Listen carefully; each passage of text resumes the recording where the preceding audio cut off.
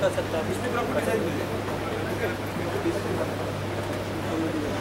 ஆஃபீஸில் போய் கேட்டீங்கன்னா நான் பெங்களூரில் இருக்கேன்